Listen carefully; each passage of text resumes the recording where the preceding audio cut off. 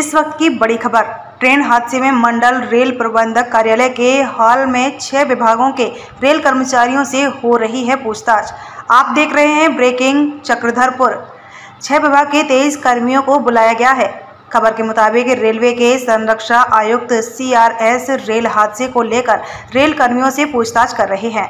हादसे को लेकर विभिन्न बिंदुओं पर होगी पूछताछ। इसके लिए रेल मंडल के संरक्षा अधिकारी ने विभागावार ऑन ड्यूटी रेल कर्मियों को चक्रधरपुर आने का आदेश जारी किया है।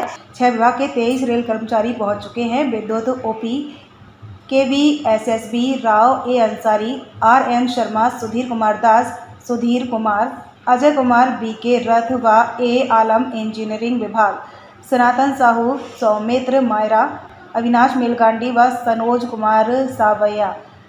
यांत्रिक विभाग संतोष कुमार व आर पी सिंह. संकेत व दूर संचार विभाग सुमित कुमार, चंदनेश्वर रॉय व राजेश कुमार, वाणिज्य विभाग ए के अनिल, आँसू पासवान, के साहू विद्युत T R D Dinkar Prasad Singh Om Prakash Muchi Pancham Lal आदि शर्मा हैं।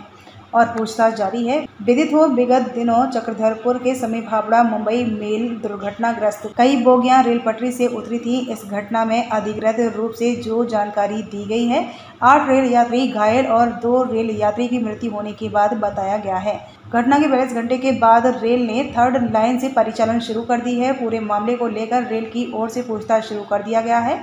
इसी क्रम में आज रेल के छह विभाग के तेईस कर्मचारियों से पूछताछ हो रही है।